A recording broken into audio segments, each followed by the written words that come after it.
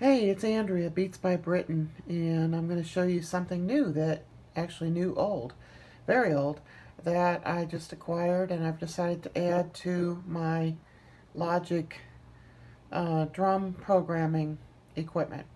It's an Akai Professional XR20. It's old piece of equipment and it's a drum machine. So um, what I'm going to do is I'm going to have Logic control this. All the tempo information, everything's going to come from Logic. So this is what you see when you first turn it on. It's going to default to uh, the first drum set, the first factory drum set in the list. So what we're going to do is we're going to hit, so you just turn it on, and then you hit System Setup down here. And then you're going to hit the page buttons to page to the first option, which is MIDI channel.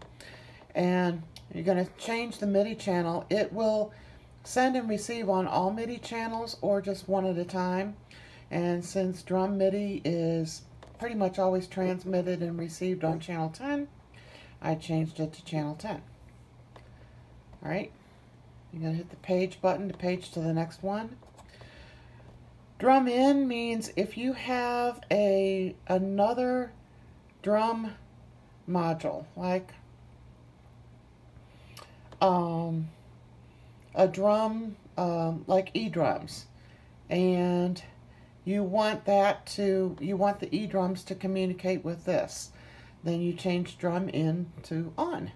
So it will receive signal from your drum kit. In this case, I don't anymore, so um, I'm just going to use this, this drum machine right here. So there are no other drum machines connected to it. So drum in is off. Hit the page button again. Drum out is on. That means this is going to be sending um, drum signal out from the drum machine into Logic. Alright, page again, and that's for note mapping, which I'm not going to change.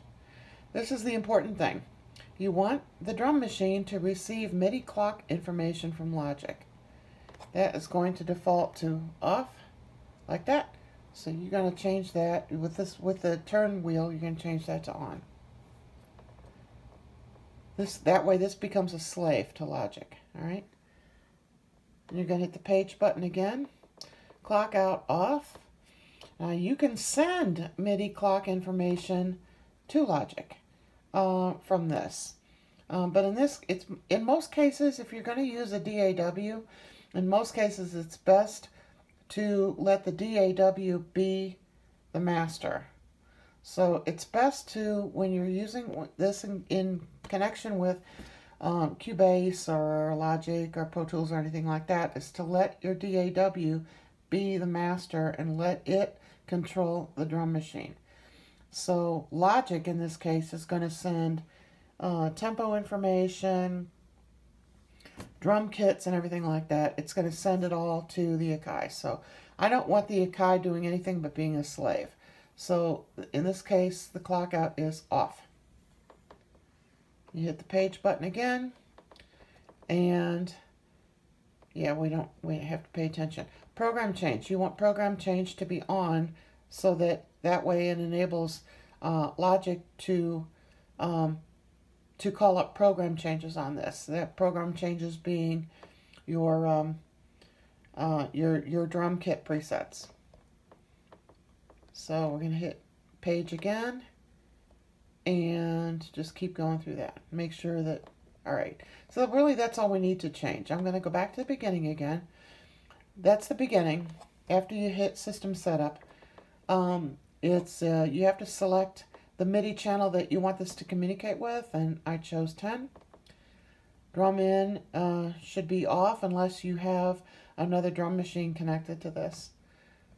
Drum out should be on, that way it sends drum signal out from this into Logic. Clock in should be on, that way Logic, that way uh, this will respond to uh, the MIDI clock settings that are coming from Logic. MIDI clock signal. Clock out should be off because I want Logic controlling this, not the other way around. And that's it. So then you hit System Setup again to save it. And then we go into Logic. So now that I, we've got our drum machine, our drum sequencer, in this case it's an Akai Professional XR20, we've got that configured to communicate with Logic the way I showed you in the previous clip. Now we're going to open Logic. And this is just a template, a blank template. Well, it's a template that I've created, but there's nothing recorded on it. This is a template I use for all my new projects. Uh, I, uh, I always use, these are called global templates up here, arrangement, marker, signature, and tempo. And I always use my global templates. I just find it so much easier to, uh, to write music when I've got all the global templates visible and I have my arrangement markers set up. It's just a lot easier. So, because uh, the drummer track in Logic uses the arrangement markers, and uh, it's just easier for me. So anyway, this is my default template that I use when I'm creating any kind of music for when I'm working on something for the first time. And these are all track stacks. All right. Anyway, so now that I've got my uh, my Akai XR20 drum machine set up, configured on the machine, I'm going to open Logic and we're going to go to File and then project settings and synchronization. Now, uh, this is 10.7.4 Logic.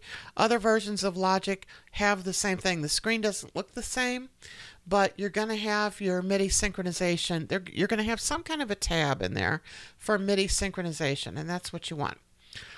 So, we're going to open synchronization, then we're going to open MIDI. And by default, that's going to be it's going to be blank like that because you have to add your equipment.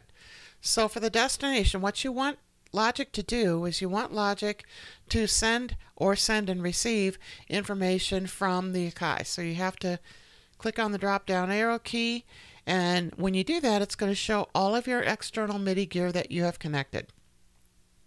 So I'm going to choose my Akai XR20 drum machine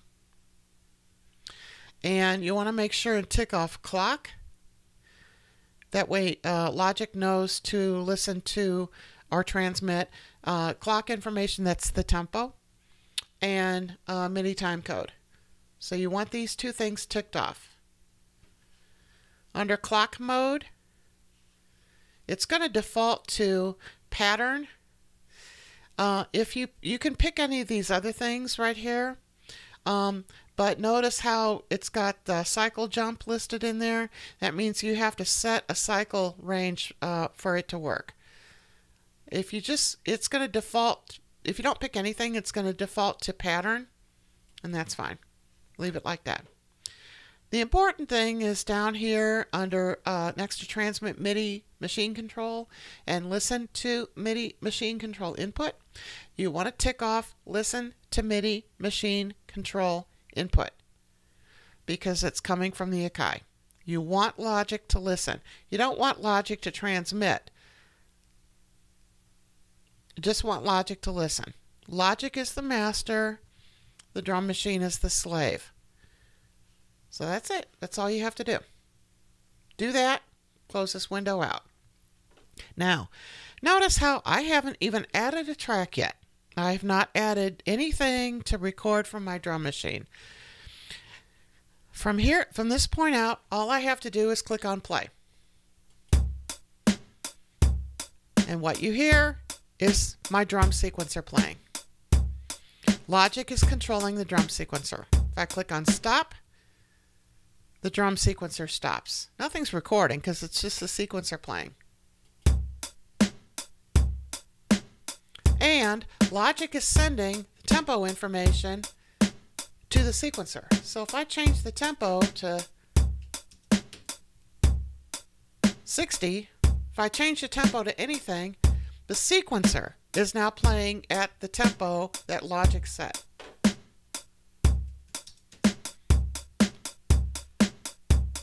So Logic is controlling the sequencer, sending tempo information and controlling the sequencer. And although my camera isn't on, if you look at the Akai XR20, there's a window actually on any sequencer. There will be a window on the sequencer that displays the tempo information, but if since Logic is controlling the tempo, you're going to see X's there instead of an actual tempo on the on the sequencer. You're going to see X's there or lines or something like that because the machine, the sequence, the uh, the external device is no longer controlling the tempo. The tempo is being controlled by Logic. So I think that's really cool. And you know, I don't even have to have a track. I can just play the sequencer and punch in on one of these other tracks and start recording something. So the sequencer is not recording anything, it's just playing in the background.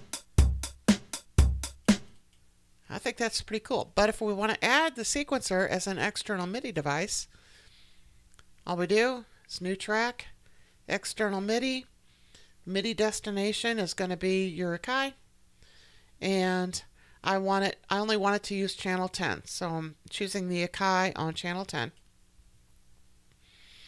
and click on Create. Okay. Now, probably by default, it's gonna the track is gonna be named um, Akai XR20. Um, I've been fooling with this so much now that it's called standard kit, but I don't really care. What you're gonna do is that that's your new external MIDI kit over here on the left. These are all your track options that show up under external MIDI devices. You're going to make sure the MIDI in port is the Akai or whatever sequencer you have. You're going to make sure the MIDI in channel is 10 or whatever channel you have your sequencer set up to send and receive over. Actually, to receive over. Okay, MIDI out port, you want to make sure that is the Akai or your sequencer. MIDI out channel, you want to make sure that matches the MIDI in. Okay. All right. I've got this armed to record. I'm not actually going to record anything yet. All I'm going to do is hit play. And you'll see that the channel is getting signal.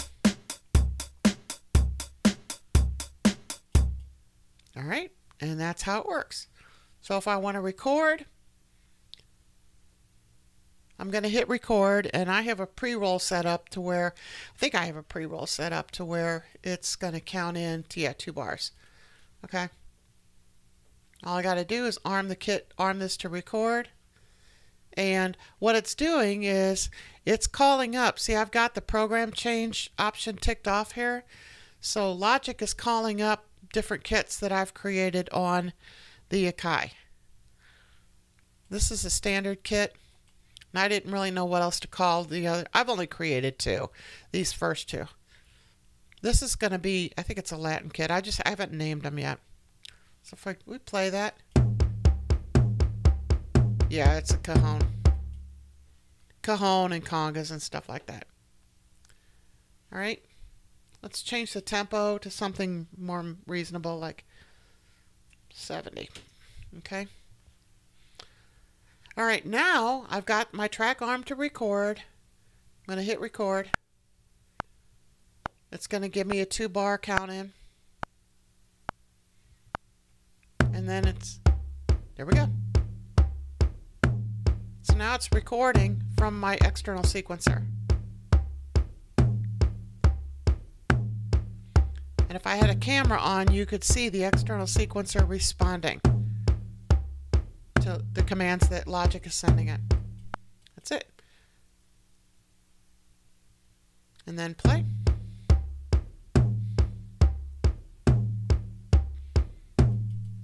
And that's it. That's my external drum machine that Logic is controlling completely. Logic is sending um, tempo change um, tempo changes to it, and Logic is also calling up the drum kits on it. That's not it. There it is.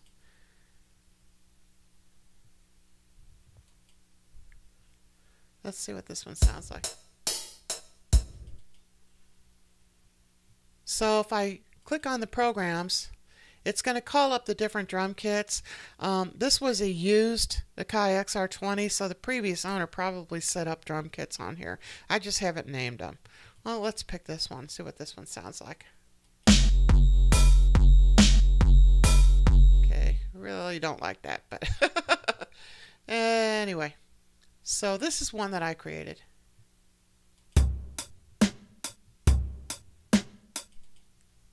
That's how you set up your uh, an external uh, sequencer. In this case, it's a drum machine. So that the drum machine is the slave and Logic is controlling it completely, sending tempo information uh, and uh, and so forth to it. And um, I have found that in in uh, in recording with this that I really don't have any latency at all. Um, everything is pretty much spot on. All my other tracks that I've that I've recorded uh, uh, uh that I've recorded using the drum machine um, as um, as a drum track, everything else is um, I have no latency issues whatsoever in Logic with this. So, anyway, have fun with all your old MIDI gear and um, talk to you later.